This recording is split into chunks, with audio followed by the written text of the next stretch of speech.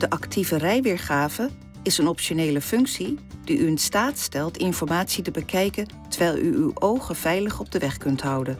Op de actieve rijweergave kunnen allerlei systemen worden weergegeven, zoals dode hoekbewaking, verkeersbordherkenning, driver attention alert, actuele rijsnelheid, lane departure warning, smart city brake support, instelling van rijsnelheid met cruise control, aanpasbare snelheidsbegrenzer en rijbaanbegeleiding en navigatieinstructies.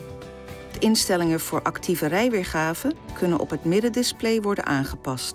Tik op dit pictogram, selecteer de tab Actieve rijweergave en kies vervolgens een instelling die u wilt aanpassen.